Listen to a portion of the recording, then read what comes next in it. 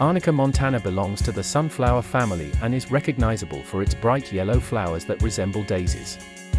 It is typically used topically in the form of creams, gels, and oils to relieve pain, swelling, and inflammation caused by bruises, sprains, and muscle aches. Arnica oil is commonly used topically to relieve pain and swelling associated with bruises, sprains, muscle aches, and joint pain. The anti-inflammatory properties of arnica oil make it effective in reducing inflammation and swelling.